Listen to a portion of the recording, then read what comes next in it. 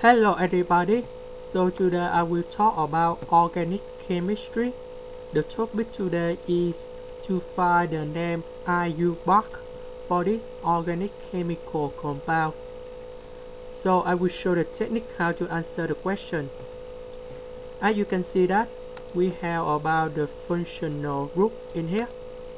So because we have the functional group, so there will be priority to put the first number and this is the number one.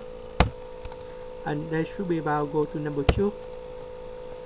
And, and uh, you can see that we have the two line in here.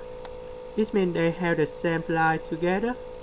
And we will use about cis in this situation. And then we have number two is about methyl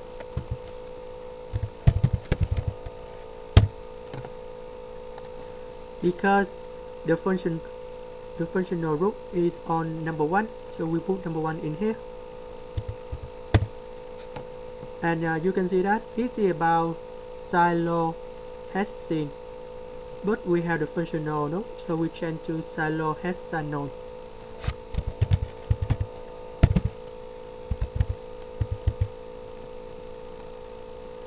that's the end. Thank you for watching